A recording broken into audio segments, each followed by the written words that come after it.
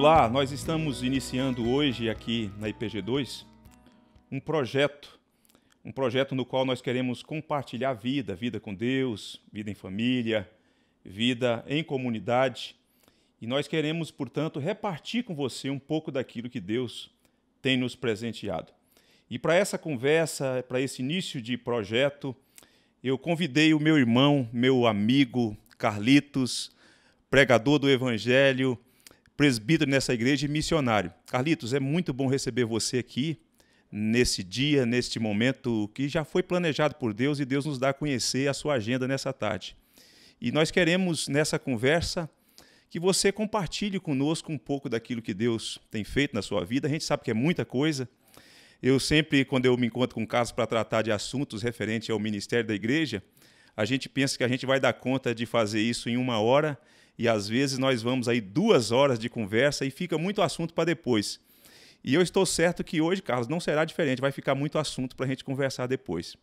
Mas eu quero então começar com você, Carlos, para a gente aproveitar esse tempo aqui, é, perguntando sobre como é que foi o seu encontro com Cristo, como é que Cristo alcançou você, como é que se deu isso. Compartilhe um pouco disso com a gente. Pergunta boa, pergunta boa.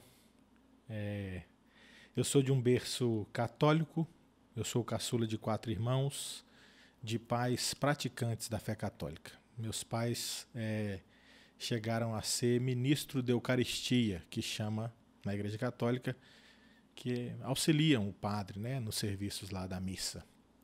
Então, praticantes.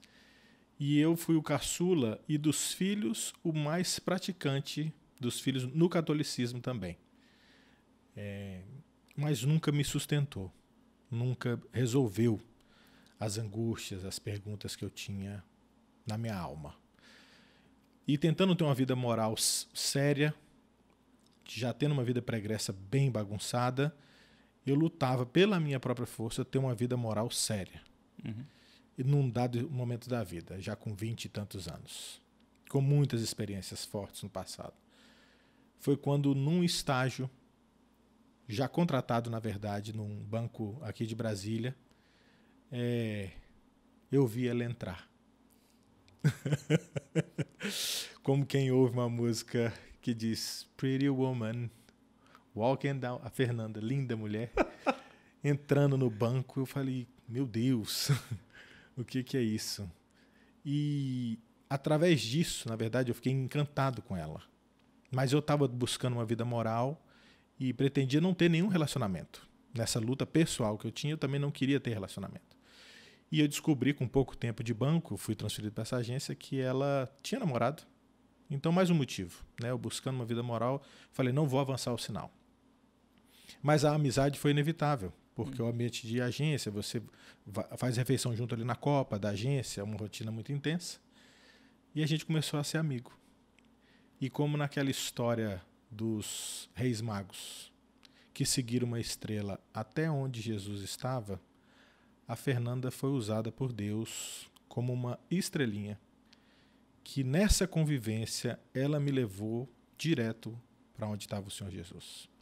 Com o jeito de agir, o testemunho, com as falas, ela me deu liberdade de conviver com a família dela, então através dos pais, da família, e já com o coração desarmado, frequentando a igreja presbiteriana do Guará 2. Uhum.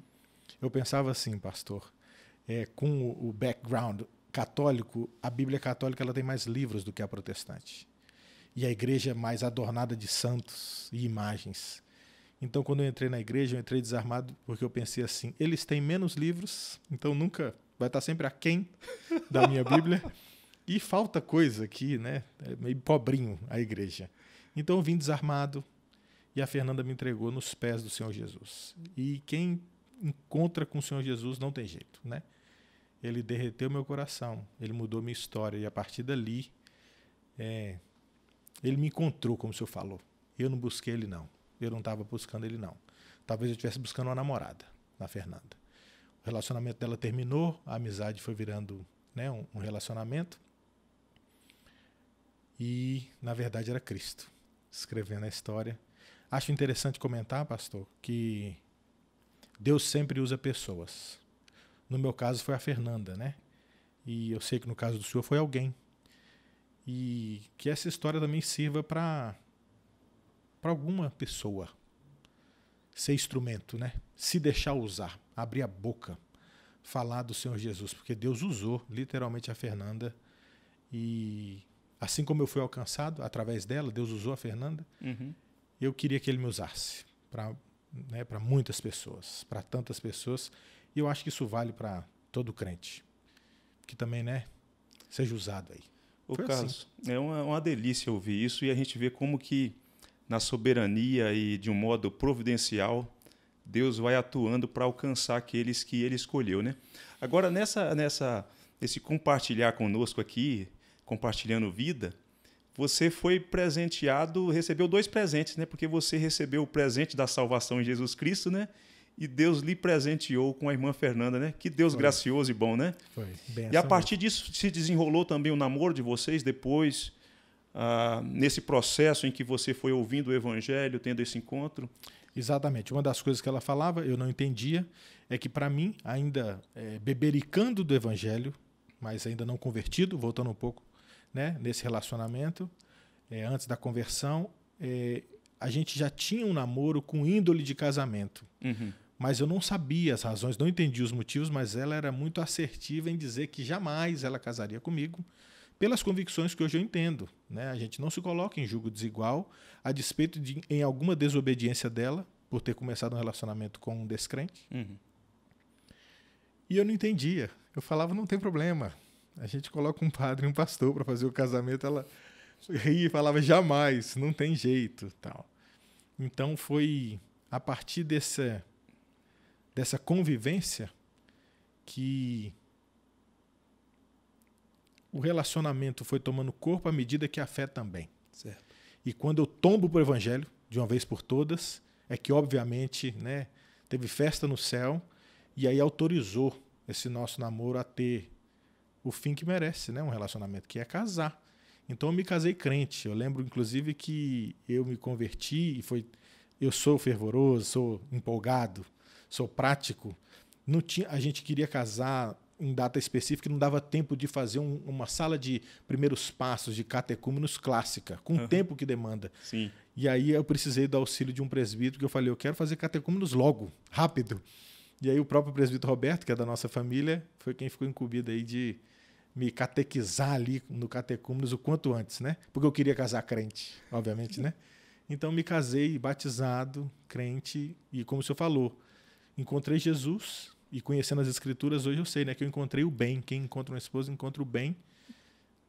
Duas bênçãos, como o senhor falou.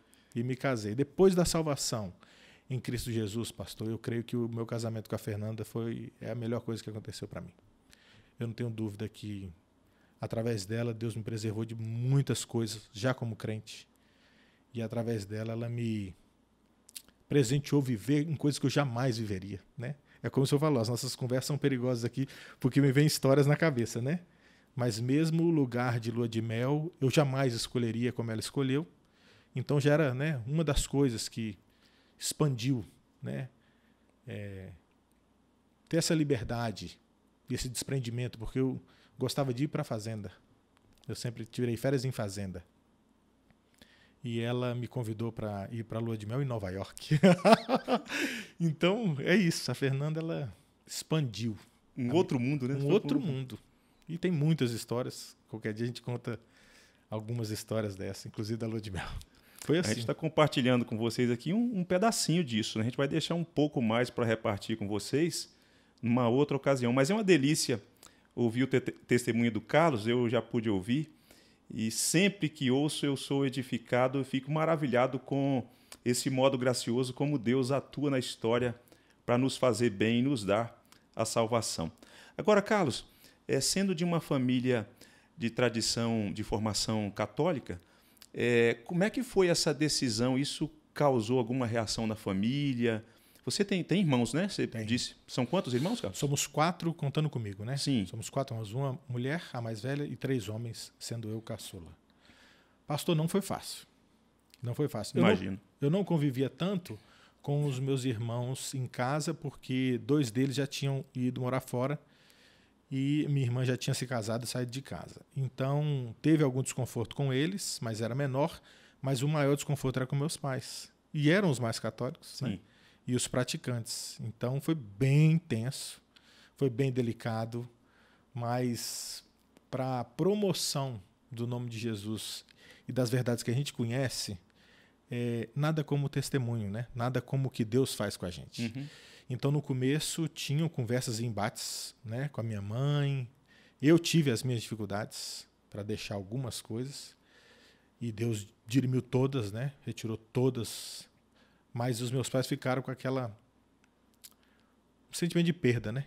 Uhum. Achando que talvez se eu tivesse estudado o Evangelho e as Escrituras no próprio catolicismo, talvez eu nunca tivesse me convertido. O que faltava era estudo, né?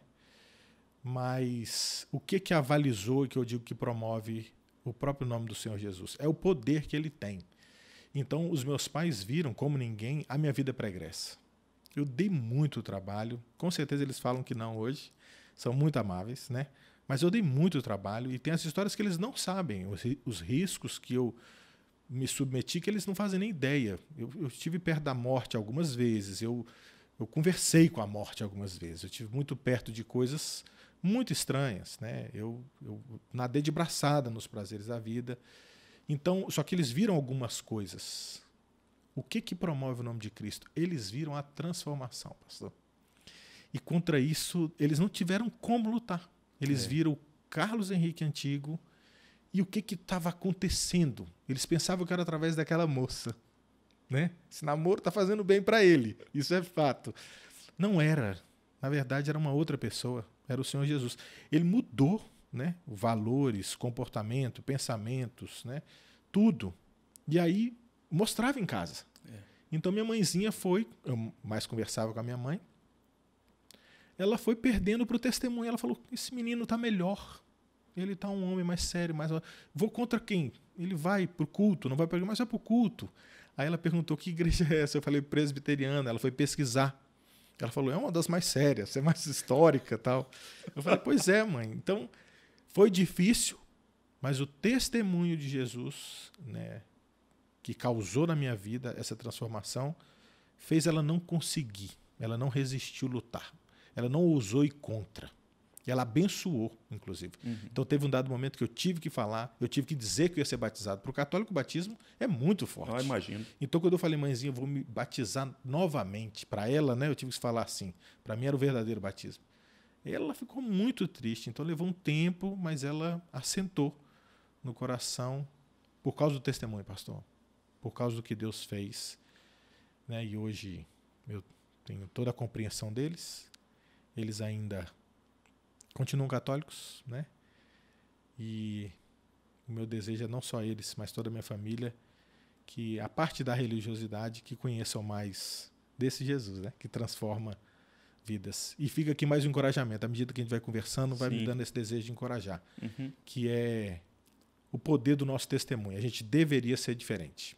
Isso acontece muito no começo de uma conversão e a gente tende a se arrefecendo e moldando ao mundo, o que uhum. é uma uhum. tristeza. A gente deveria continuar sendo diferente, chamar atenção, porque esse testemunho Deus usa, eu creio que para a glória dele. Por que, que o pastor é assim?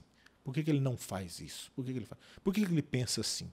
Por que, que ele perdoa? De onde vem essa força para perdoar? Uhum. Não é nossa, pastor. Então acho que o nosso testemunho pode encorajar né, muitas pessoas e fica aí essa, esse encorajamento. E isso no seio da família é forte, né, Carlos? Porque a família nos conhece, né? Os nossos progenitores, irmãos, familiares sabem, ninguém. né? Sabem da nossa personalidade, de, de desvios, de pecados, né? E quando então o Evangelho promove essa transformação da mente e do coração, é. fica patente ali que algo sobrenatural, extraordinário aconteceu. É. É maravilhoso. Agora, Carlos, depois disso tudo, casamento, já rendido ao Senhor Jesus Cristo. Mais adiante você foi eleito pela igreja para o diaconato, né? Isso. E depois, quanto tempo depois você foi eleito para o presbiterato? Porque aí a gente já vai tocando naquilo que a gente faz junto hoje, né, como pastores dessa igreja, que é um privilégio servir com você e pastorear com você. Como é que foi isso? Quanto tempo levou isso? A igreja foi reconhecendo essa, essas vocações, primeiro para o diaconato, depois para o presbiterato. Privilégio é meu, pastor. Sinceramente. Pastor, o diaconato, eu creio que ele é essa essa vocação, especialmente de servir, eu creio que eu ainda a carrego dentro de mim. Então, eu acho que eu não deixei de ter uma vocação diaconal. Eu poderia facilmente, né, é, poder ser eleito pela igreja e servir como diácono, uhum. né, numa mudança de mandato, no fim de mandato, uma propor meu nome para essa eleição, porque eu, eu acho que Deus me deu esse dom. Uhum. Então eu servia, mas eu não tinha, sinceramente, tanta maturidade bíblica. Foi pela necessidade da igreja e o muito desejo de servir. Na igreja é assim: a hora que você puxa a cadeira e faz coisa, logo falo, esse rapaz dá para diácono. Né? mas eu não era, eu acho que. É, eu não dominava tanto as escrituras. E foi através do convite do próprio presbítero Roberto, que é da minha família, que um dia me convidou para uma conferência teológica, conferência da editora Fiel, uhum. em São José do. Não, acho que é. Águas de Lindóia. Águas de Lindóia. Fomos de carro juntos, eu, ele e o presbítero Expedito, que é da nossa igreja. E lá, então, minha cabeça explodiu e expandiu com o ensino teológico. Eu descobri as doutrinas da graça, verdades assim fortes, né? Então, a partir dali, eu comecei a beber, comer Bíblia com farinha. Eu ouvia essas mensagens repetidas vezes, assim, eu corria aqui no Guará para fazer exercício ouvindo e de novo eu tenho decorado as mensagens, as histórias, eu sou fascinado por histórias uhum. das mensagens, eu posso repetir, né, detalhes da mensagem porque eu fiquei encantado. Então acho que foi um segundo passo, né? Então, à medida que a escritura foi entrando na minha vida, ela foi o que a boca fala do que está cheio o coração. Uhum. À medida que meu coração ficou mais cheio da escritura, a, a igreja notou, percebeu uma palavra sábia aqui, uma colocação ali, um ensino, às vezes de alguma coisa. Foi quando, percebendo isso, numa eleição eu fui, é, como é que fala? Indicado, né? Sim. E, pela graça de Deus, eleito. Foi quando então eu mudei. Eu acho que eu não eu precisei declinar do restinho do mandato. Eu não lembro bem as datas. Mas foi quando eu fui eleito presbítero. Um novo desafio, um novo cenário. E, e foi assim que eu cheguei ao presbiterato. Graças a uma, creio eu, né? Deus usou, na providência que a gente fala, usou a Fernanda para a conversão, usou essa conferência para a minha santificação, né? Para essa caminhada de conhecimento. uma, a, a, avançando na maturidade cristã. Né? Avançando né? na maturidade cristã, exatamente. E estamos aqui até hoje, né, pastor? E hoje, cara, você está em qual mandato no presbiterato? Eu estou no segundo, segundo mas é mandato. é porque eu sou ruim das datas, porque teve uma quebra quando eu, eu precisei sair do país. Ah, que perfeito. é uma outra boa história. Perfeito. Agora, é atrelada a essa boa história de que você viveu um tempo fora do Brasil, inclusive avançando no aprimoramento né, do conhecimento teológico, preparando, isso nos leva então àquilo que você desempenha hoje, desse bom casamento do presbiterato, pastoreio da igreja local mas também pastoreando pessoas nos campos, né? Que é o seu trabalho, a sua vocação missionária que, que encanta você, que deixa também a sua agenda bastante intensa, né? Sobrecarregada, mas pela graça de Deus vai fazendo, né? É. E, e como é que foi essa, essa transição para esse outro passo de fé, digamos assim? Porque é um desafio, né, Carlos? Deus desafia o coração da gente e a gente, essas decisões elas são evidências de uma fé, né? É. Da gente sendo uh, se colocando nos braços de Deus para fazer aquilo que Deus está chamando a gente para fazer, né? É. Ah, nesse tempo você estava ainda no trabalho, no banco? Exatamente. Como é que foi isso? Exatamente. Nessa época eu já estava então em outro banco, concursado agora, hum. e no, com a carreira em ascendência, né? É, acontecendo, né? Fluidamente conquistando os bens, as coisas que um bom brasileiro quer ter. O próprio carro, a própria casa, casados, sem filhos nessa época. Ainda naquele período de querer viver alguns anos sem filhos, uhum. né? recém-casado. Foi quando, no serviço do presbiterato, tentando ser um bom presbítero, mas ainda com uma maturidade mais administrativa do que uhum. de pastoreio, e eu sou formado em administração, também, eu quis entender quais são as áreas da nossa igreja. Certo.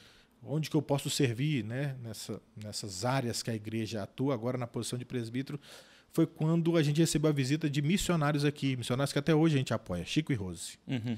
Eles estavam passando por Brasília, eles trabalhavam na Amazônia, num lugar chamado Cabeça do Cachorro, São Gabriel da Cachoeira, plantando uma igreja entre os indígenas lá.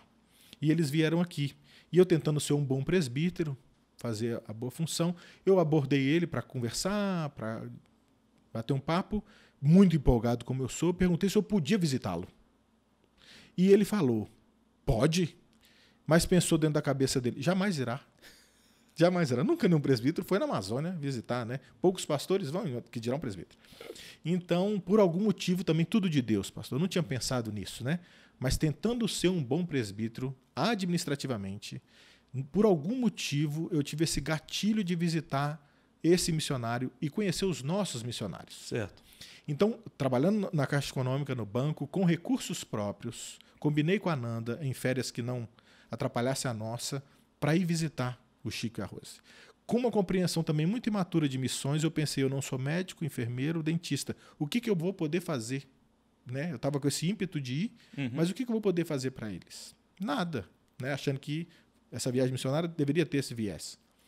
E aí eu acionei um outro amigo para ver se a gente tinha uma dentista na igreja que continua com a gente até hoje, que é a, a tia Viviane, que é do departamento infantil. Certo. Que eu também arranquei ela da vocação dela de dentista e ela veio trabalhar na obra, né?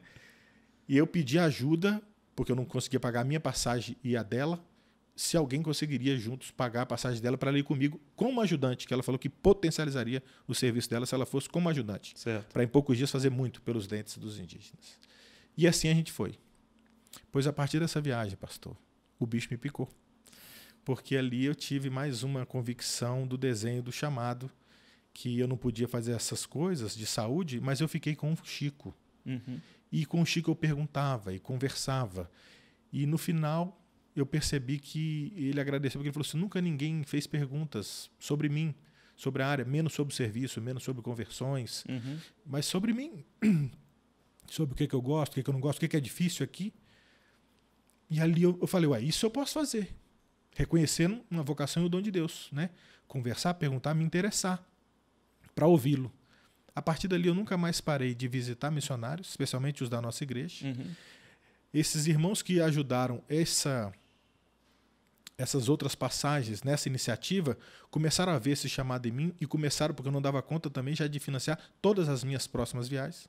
Foi nascendo a organização que eu trabalho, uhum. que chama-se HUG, que quer dizer abraço em inglês, e o nome é em inglês porque a gente atua fora também. Esse grupo de amigos começou a financiar as minhas viagens. Para poder estar tá perto dos missionários. Uhum. Que era diferente ler uma cartinha do que ir e sentir o calor da Amazônia, o cheiro da Amazônia, os horários da Amazônia, os barulhos da Amazônia. Isso tudo melhora o entendimento do nosso missionário. Então, o cuidado dele. Nasceu o meu chamado, né? Um missionário para os missionários. Só que, como o senhor falou, é sempre. A gente fala a parte fácil e glamurosa aqui, né? Certo. Mas deixar um concurso público, conseguir é, pregar para o coração da própria esposa a convicção desse chamado, para os próprios crentes, né, que mesmo sendo crentes achavam um absurdo né, chutar o balde assim. Para os não crentes, então, para os meus pais, era de novo, como quem diz, primeiro converteu, agora vai deixar o concurso. Ela vai cerebral, o que, que é isso? Então foi muito difícil o processo de deixar. E aí eu fui notando. A gente fala sempre rapidinho aqui o que acontece num processo, né? Certo. Então foi nascendo a convicção dessa vocação. E aí a Fernanda chegou a falar assim: você me enganou. Eu casei com um bancário e você virou um missionário. e foi assim, né, que depois de muitas e tantas viagens, percebendo que eu precisava estudar mais para servir mais e melhor, que numa das viagens eu descobri que tinha esse curso na Noruega, que o pai de um dos missionários era professor lá. Nunca escolhi a Noruega, né? Foi um plano de Deus. E aí a gente viveu em três lugares. E a Nanda foi comigo, com muitos milagres que aconteceram desde os recursos para ir, a gente vendeu tudo que tinha para ir, a gente não contou com é, a oferta antes de da gente mesmo né, colocar o nosso. Certo. Se a gente crê nessa visão, que queime o seu primeiro. Foi uma das coisas que eu tentei advogar até né, na minha casa e tal. E assim a gente fez. A gente literalmente abriu mão de tudo que a gente tinha conquistado, porque a Noruega era um dos lugares mais caros do mundo para se viver. Uhum. E a gente foi. Vivemos lá, tendo uma parte teológica sobre missiologia. Vivemos em Israel com uma parte prática, onde a gente foi muito humilhado por Deus, para poder aprender a servir. E depois uma parte mais é, de capacitação de pastoreio e aconselhamento, que é a área que eu mais sirvo hoje, uhum. em Washington, do, capital dos Estados Unidos, Washington, D.C. Depois disso, a gente volta, eu convicto que eu não voltava para a Caixa nunca mais, porque eu açucarava os ouvidos de quem me pressionava, dizendo que eu tinha tirado uma licença interesse pessoal, que eu poderia voltar, mas eu sabia que eu não voltaria jamais. Depois disso, eu já estava decidido. Eu falei, eu não volto mais. Eu brincava, não é para a Caixa Econômica Federal, mas para essa caixa de sapato. Eu preciso servir no mundo. Em poucas palavras, foi mais ou menos isso. Né? Depois desse tempo fora, eu me dediquei, dediquei tempo integral à organização. Então, a partir de Brasília, eu passei a visitar missionários no país e fora, tendo isso por atividade e tendo que estar em casa também, né? E é por isso que eu sirvo aqui também, com o senhor, a nossa igreja. Graças a Deus. Eu também moro em Brasília, né? É. Então, enquanto eu estou aqui, eu tento ser um, um, presbítero. Mas eu tenho que viajar muito agora, a gente está mais juntinho por causa do cenário, né? Eu não estou podendo viajar tanto Perfeito. assim. Perfeito. Nós estamos nesse bate-papo aqui na minha sala de estudo aqui no prédio da Igreja Presbiteriana do Guará 2, do Distrito Federal. Estou ah, trazendo essa informação porque pode ser que você não seja do Distrito Federal, para você entender essa força da vocação, do chamado de Deus, chamado irresistível para a salvação e depois para o ministério. Por quê? Porque aqui no Distrito Federal, é, uma das aspirações do, do brasiliense é o concurso. E o Carlos, ele batalhou, se preparou para passar no concurso e passou pela graça de Deus. Ele tinha alcançado o que ele tinha idealizado, sonhado. Mas de repente, Carlos, o Espírito de Deus, né, vai mexendo com o coração, usando pessoas, circunstâncias, né? Essa ida lá para estar com o Chico, né? Foi. Quando ele então percebe e compartilha com você como ele se sentiu valorizado a vida, né? Exato. Porque é comum um missionário estar no campo e a gente quer saber e aí, tá progredindo, alcançou gente lá e essa coisa toda, e a gente quase sempre né? A gente precisa mudar essa mentalidade. Precisa. Não pergunta, não se interessa pela vida, pelos dramas. É. E me parece que isso foi mexendo com você, né? Foi, foi. Mudou 100% né, a história, porque um, um, um obreiro, um missionário é, sadio, bem fisicamente, emocionalmente espiritualmente, é o missionário que pode ser mais usado por Deus. A gente não pode colocar é, as lutas além das que Deus promoveu para ter na nossa vida, né? Tem algumas que Deus permitiu por motivos que a gente talvez nunca vai saber. Mas a gente descansa sabendo que Ele que quis. Agora a gente pode aliviar tantas outras que essas estão na responsabilidade humana. Uhum. Depende da gente. E foi um, um, ministério também muito difícil, porque o chamado missionário ele já é difícil, né? Você deixar tudo para ir e deixar tudo para ir para um chamado totalmente desconhecido.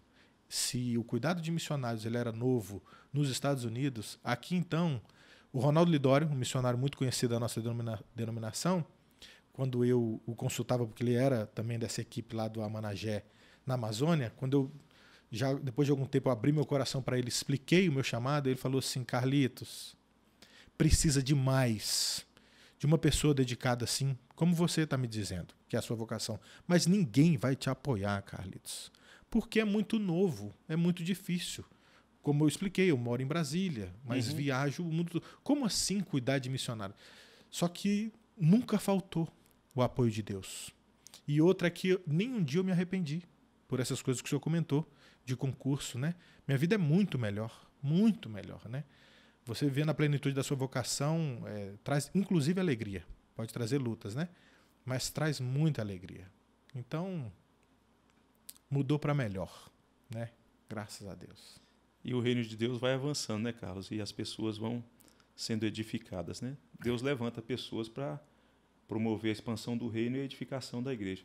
É. Agora, Carlos, é sabido que ah, os missionários, esses homens que Deus levanta, né, homens comuns, né, mas que são capacitados, revestidos de graça e poder, né, para ir para os campos, os mais diversos, né, com situações atípicas de cada qual. É. Eles têm os seus percalços e os seus grandes desafios e dramas. Nessa, nesse I, né, usando aqui o nome da, da, da, da, organização que você faz parte, né? Abraço, né? E você abraça literalmente, a gente sabe disso. Gosto. Os dramas que você já viu assim na vida de família de missionário, assim, alguma coisa assim que impactou, você falou, puxa vida, que coisa que foge do, do, do, do convencional, do normal da nossa vida nos nossos lugares onde nós estamos, como isso é mex, mexeu com você, impactou a sua vida? Alguma história assim que você poderia repartir com a gente? Várias. Algumas, né, é, que aconteceram, que me chamam a atenção. Um dos missionários, inclusive, que a nossa igreja é parceira. Uma das coisas que me chama a atenção, pastor, mesmo sendo missionário, né, é, estando perto de missionários, o sofrimento dos missionários me faz, sinceramente com Deus, pensar assim: Deus, deixa os missionários. Eles não deviam sofrer assim, né? Deixa esse sofrimento para quem não é missionário. O missionário ele já está pagando um preço, né? Então, uma, uma sinceridade que eu falo com o senhor aqui, que é o pensamento que passa pelo meu coração. Eu fico com dó de missionário sofrer. Para mim é desproporcional. Ele já é missionário, ele já está longe de casa. E a gente tem uma família que a gente apoia aqui, que é missionária, né, além mar, em contexto árabe, hostil, Uhum. e que eles passaram por coisas que me machucam demais. Desde, assim, todas são pessoais, né? Mas o, o- esse missionário é, teve a casa incendiada. Ele está em campo missionário, uma luta para manter é, isso em moeda local, toda uma estrutura, dificuldade para encontrar o endereço, se aculturar naquele povo, naquele jeito, naquele clima lá muito quente. Então, estrutura, precisa ter ar-condicionado, tá uma casa, uma casa que seja bem posicionada, que dê para relacionar com aqueles que a gente quer avançar e tal. E quando tá isso tudo vencido, teve um incêndio na casa dele. Pegou fogo tudo na casa dele.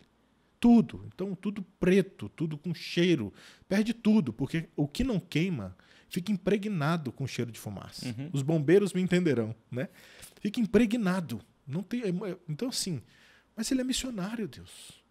E assim, é, é- é o dinheiro da igreja de Deus, ou seja, do Senhor, que a gente pôs para que ele tivesse essa estrutura para servir. Uhum. Queimou tudo. E nessa correria, ele descendo uma, uma escada, ele rompe o, o- o tendão de Aquiles por completo Hum. nessa correria e ficou de cadeira de A ele- casa sendo queimada e ainda. ele ainda se machuca. Brutalmente, que é tipo perna para cima, Uhum. né? Totalmente mobilizado. E ele cuida da esposa e dois filhos, então ele já não pode fazer mais nada. Só que aí vem a resposta para minhas perguntas que Deus podia não ter me dado, né?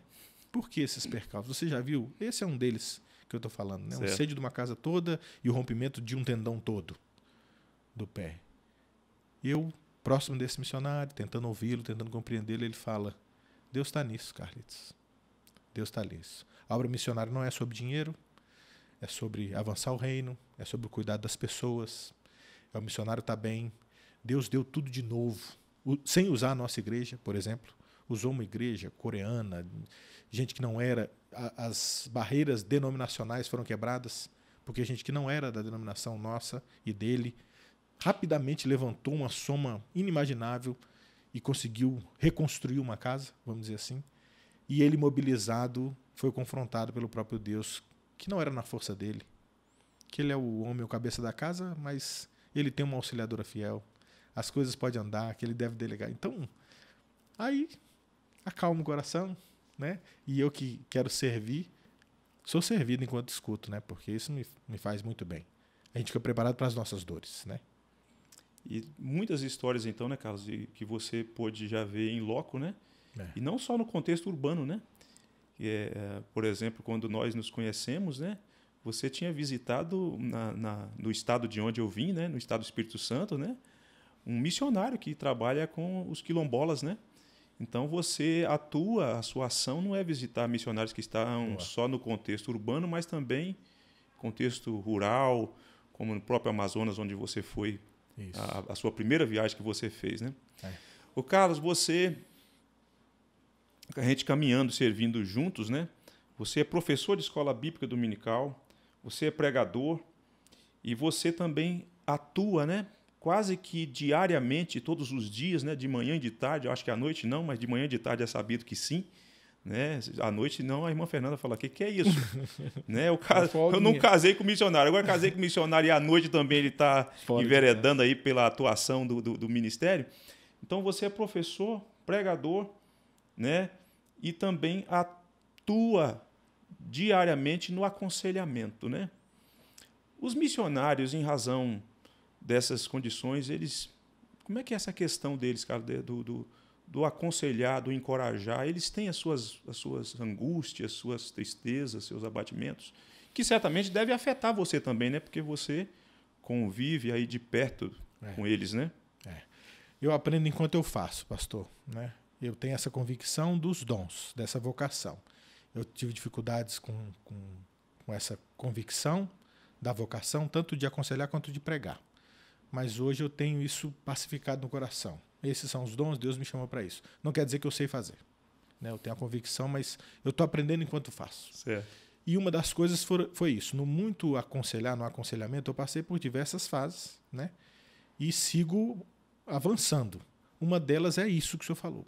Por ouvir muitas histórias e muitas coisas, respingou em mim várias vezes. Eu me entristeci, me abati com muitas histórias, porque são sempre muito pessoais, muito fortes. Então eu tive que aprender a, a me envolver o, o tanto prudente, né? Outra coisa era tentar resolver todas as histórias. Né? Eu tinha que dar uma solução bíblica para todas as histórias. E não é assim também. Às vezes o que muito precisa é uma empatia, é o ouvir e vamos orar junto. Vamos procurar em Deus uma solução. A pessoa precisava falar, dividir com alguém. Né? Mas eu sigo aprendendo. Né? Uhum. Né? Agora, uma das coisas também dessa área do aconselhamento, e citando os missionários, como o senhor falou, é que a gente tem um grau de soberba, de ego, e de falta de habilidade, de treino, de experiência em se expor frágil. Uhum. Então, especialmente eu sendo ainda jovem, eu era ainda mais jovem, já tem mais de uma década que eu estou dedicado a isso, então ainda mais jovem, eu não tenho cabelos brancos para avalizar como um conselheiro, eu não tenho horas de voo, mas eu tinha plena convicção e, e era o que tinha, eu estava à disposição, Deus me chamou, eu estava lá. Então a conquista do coração e dos ouvidos do missionário, para que ele se sentisse confortável para falar, é um processo. Certo. Teve missionários que eu visitei é, por sete anos até acessar o coração. Eu não tinha o coração dele aberto me contando as coisas, mas visitando outros, visitando estes, depois de anos, eu até me assombrei. Sete anos. Com tamanha. Aí ele falou, como quem vomitou tanta coisa, confiou em mim, né?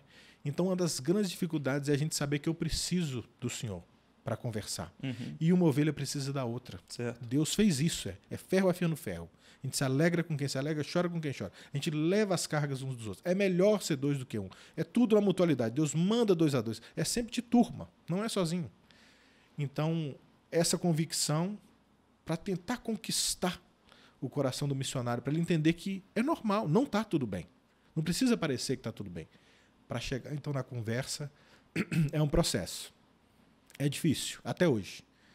Mas eu vou tentando fazer de um jeito mais sutil possível. Dificilmente um missionário homem vai me ligar e dizer: socorro, vamos conversar. Se a gente já tem uma caminhada, eu já visitei, já tem intimidade, é capaz dele, né? Mas é difícil se expor assim. Então, às vezes, ele pergunta: Carlitos, vai estar tá passando por aqui e tal ele me deu um sinal de fumaça. Eu estou entendendo. Então, sutilmente eu tento ir e vários outros eu visito sem ele me pedir. Porque eu sei que não está tudo bem, eu chego como quem quer fazer uma visita. Então, eu tenho muita intencionalidade no que eu vou fazer, mas eu tento fazer isso parecer muito sutil. Uma conversa tranquila, mas eu vou tentando puxar do coração, o que não é fácil, porque nem a gente conhece o nosso, né? Então, e como você costuma dizer, né, Carlos? Isso é o jeitinho de Deus, né? Esse é o jeitinho, é o jeitinho de Deus. Deus tem o seu jeitinho de cuidar de nós e de usar pessoas para que a gente possa ser é, tratado, curado, né? É. E Deus tem usado você nesse nesse ministério que é amplo, tem muita demanda, né? É. E isso nos leva, Carlos, a, a, a uma pergunta que para fazer tudo isso, né? Que não é pouca coisa, é muita coisa. É. Aliás, a, eu eu como pastor, mas também como ovelha de Cristo, eu me deleito quando eu paro para ouvir Carlos pregando. Ele tem um jeito muito peculiar, Deus tem habilitado a ele. E recentemente ele até perguntou, eu sento geralmente nos primeiros bancos, nas primeiras poltronas, ele perguntou, pastor, senhor dá umas risadas? E ele faz com seu jeito de ser peculiar, às vezes a gente dá risada e às vezes a gente chora também. Chora porque se emociona com a verdade de Deus, chora pelos confrontos. É uma bênção ouvi-lo e ser edificado por meio do seu ministério, Carlos. É uma bênção. Mas, Carlos, esse negócio de pastorear, pregar, dar aula e aconselhar demanda de nós ah, uma imersão nas escrituras, né? Ler a Bíblia, é, orar, ler livros, né? Como é que é a sua vida devocional? Fala pra gente aí um pouquinho como é que é a hora que você levanta, como é que você faz? Você lê antes do café, lê depois do café, ou lê antes e lê depois também, continua lendo? Como Boa. é que é a sua dinâmica? Boa. É, Para a atividade de aconselhar, uma coisa que eu percebi, até pela própria escritura, é que deve, como diz o texto, habite ricamente a palavra no seu coração, aconselhar-vos mutuamente. Então, o pré-requisito é que eu não dê conselhos pessoais, ou baseado em sabedoria humana ou mundana, mas nas escrituras. Eu tento ser um conselheiro bíblico. Então, para isso, habitar ricamente a palavra de Deus. Então não é uma casinha, não é um casebre, não é uma temporada. É uma mansão, habitar ricamente, com espaço, com muitos quartos, com, né, com riqueza. Para isso é como o senhor falou, é todo dia. Não precisa ser muito nem pouco, mas todo dia. E cada vez um pouco mais. Conheçamos e prossigamos em conhecer o Senhor Jesus. Então eu tento ter uma rotina, e tão logo eu, vou dizer assim, eu virei missionário, eu tinha preocupação exatamente disso, por não ter um chefe, não ter uma rotina. Eu tinha agora o melhor e o pior chefe, que é o próprio Deus, né? Ele vê tudo, ele é bem misericordioso, mas eu tinha isso. Então eu tentei fazer uma rotina. Eu sou né, muito dedicado em algumas estratégias. Uma delas que eu fiz foi a de devocional, pastor. Eu tinha sempre um livro de devocional, um diário e um caderno de anotações o diário para eu escrever o que, que eu fiz, para eu saber se eu tinha dado horas para Jesus, se eu tinha trabalhado. Porque na caixa eu sabia o que eu fazia. Certo. Então eu anotava ali tudo que eu fiz, para saber se aquilo tinha conexão com o meu chamado. Eu queria trabalhar para Jesus, não queria matar o tempo, senão eu voltava para a caixa. Então um diário. Anotando o que faz, você vai percebendo se você gasta tempo em coisas erradas. Isso me doutrinou, me ajudou durante muito tempo. Né? Eu sigo fazendo até hoje com menos detalhe. A outra foi a devocional parece menor, mas eu tinha um livro de devocionais, desse com data, com texto e com explicação do texto. Certo. Porque isso me cadenciava a dar um check ali, feito, todo dia, aquele verso, aquele texto, e então eu lia e aí eu ia para o meu caderno. Eu, eu, eu, faço uma carta para Deus todo dia.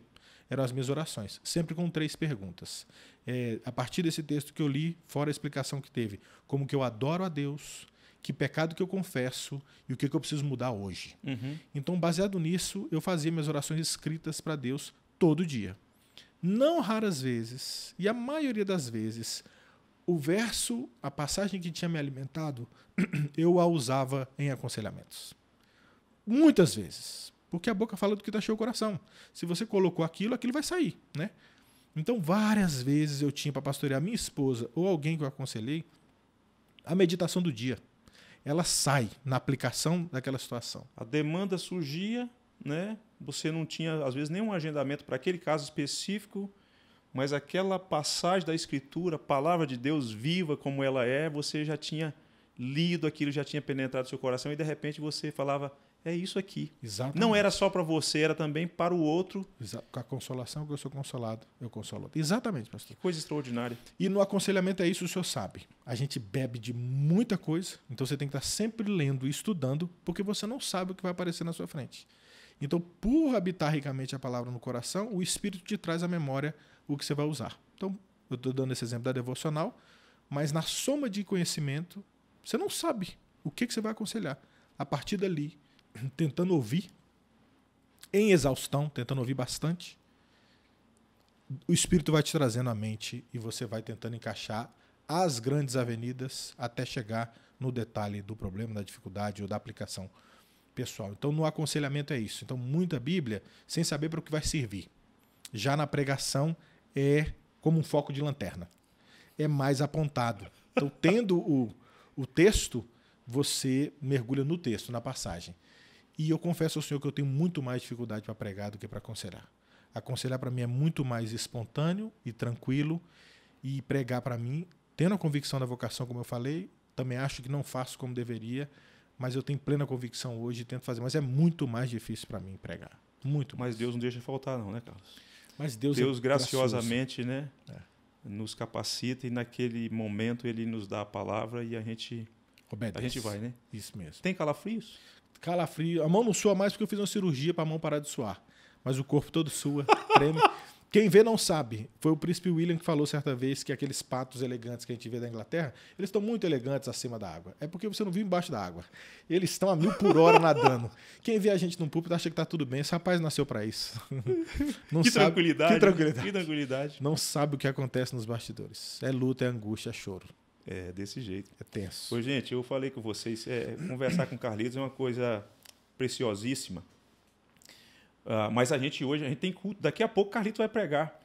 E então a gente precisa aqui otimizar o tempo. O Carlos, nós estamos num tempo difícil, um tempo de pandemia, mais de um ano, né? Tem sido um tempo difícil, sofrido para o mundo, né? E o nosso povo, o povo brasileiro, e que faz parte da sociedade brasileira também, a igreja está aí, né? Gente, né? Gente de é. carne e osso, gente que chora, gente que fica triste, angustiado, né? Dê uma palavra para a igreja nesse tempo de pandemia, uma palavra de encorajamento, né, de fortalecimento ao povo de Deus dessa pátria querida, onde Deus nos colocou, onde nós estamos servindo e servindo o povo de Deus. Então, uma palavra para a igreja nesse tempo de pandemia e uma palavra também para aqueles que se sentem vocacionados, mas que têm os seus medos, medo de romper, medo de deixar alguma coisa, que não é fácil, você passou não. por esse caminho, né? E nos disse que não se arrepende na dica de nada, né? E depois, então são duas coisas, uma palavra para a igreja uh, evangélica, para os evangélicos da nossa pátria nesse tempo de pandemia, para aqueles que se sentem vocacionados e que têm os seus medos, né, suas dúvidas, e também uma recomendação de uma obra, de um livro que você fala, olha, essa obra aqui vale muito a pena ler. Depois um texto bíblico e você ora. Tá ora tá por nós e ora por essas pessoas, esse povo querido de Deus. Tá bom. Se eu esquecer alguma coisa, a gente fala. volta. A, eu vou começar por essa da, do estímulo, né? Talvez aos vocacionados. O senhor, como eu, é do tempo que os volantes, os carros, eles não eram hidramáticos, que fala, né? Essa direção macia? Hidráulico. O volante não era hidráulico, então ele não era macio. E quando você tinha que esterçar um carro, ele parado, pastor, você tinha que virar o volante na vaga para fazer uma baliza, alguma coisa, era um esforço. Né? Então, porque ele estava parado, era difícil virar. Aplicando isso ao chamado, é, eu contei aqui em minutos o que aconteceu na minha vida. O, o estímulo que eu daria é deixa o carro em movimento, que é mais fácil virar o volante. O carro em movimento, você faz essa curva mais tranquilamente. Então, se você tem alguma vocação, vai se movimentando não é parado e de repente muda para poder sair numa nova vocação. Vai fazendo alguma coisa. Se você gosta de audiovisual, grava alguma coisa. Faz alguma coisa. Se você gosta de misericórdia, de visitar, de ajudar, faz alguma coisa. Entrega uma sopa. Se você gosta de escrever, escreve um texto, mostra para alguém, escreve num blog, no seu Instagram. É faz alguma coisa. Vai fazendo. Eu acredito que à medida que você vai fazendo, Deus vai acomodando. Essa seria uma dica. Vai fazendo. E Deus vai consertando a gente e botando no caminho certo. Uma palavra de encorajamento para todos nós nesse tempo, eu penso em crer. Na verdade, um ciclo de três forças propulsoras, vamos pensar assim, né? um ciclo que ele se retroalimenta com três forças propulsoras. Que uma é, eu preciso conhecer mais de Jesus. Sim. Que quanto mais eu conheço de Jesus, o que, que a gente tem que fazer agora? E bem, na verdade, a todo tempo, especialmente em tempo de pandemia ou de uma dificuldade que alguém esteja enfrentando, é preciso conhecer mais Jesus. Por quê? À medida que eu conheço mais Jesus, isso me joga para uma outra força propulsora, que é eu creio mais em Jesus. Então, conhecer, crer. À medida que eu conheço mais o Senhor Jesus, eu creio mais. E à medida que eu creio mais, ele me joga para uma outra força propulsora, que é eu confio mais, eu descanso. Então, quanto mais eu conheço de Jesus, mais eu creio, quanto mais eu creio, mais eu descanso nele ele, a história está no controle dele. Não precisa estar tá no meu controle, eu não preciso entender sequer a história. Qual conselho que eu dou? Conheça mais o Senhor Jesus. Quanto mais eu conheço, e está no livro, é na Bíblia Sagrada. Quanto mais eu conheço o Senhor Jesus, mais eu creio. Quanto mais eu creio, mais eu descanso. Mais eu confio que está tudo certo. Se eu pudesse falar uma obra, é, eu diria todas as obras de Spurgeon. Fora a Bíblia, é o meu melhor amigo morto. É, tudo que você tocar que tiver sido escrito por Spurgeon, leia. Porque né, ele tem sido um amigo em alguns voos. Ele teve sentado comigo ali e me encorajando depois de lutas ou em tempos de desânimo. Deus tem usado muito esse homem que depois de morto ainda fala comigo. Uma obra dele, O Conquistador de Almas. tem que ler. Conquistador de Almas tem que ler. Um texto bíblico que tem falado muito comigo recentemente, aqui eu exponho meu próprio coração, é que, como o senhor falou, à medida que a gente vai sendo muito ou mais usado por Deus, o risco de uma soberba é grande demais. Então, recentemente, pelas muitas atividades, eu tenho sido confrontado e constrangido por Deus com João 3,30. Que eu diminua e que ele cresça. Porque é Ele.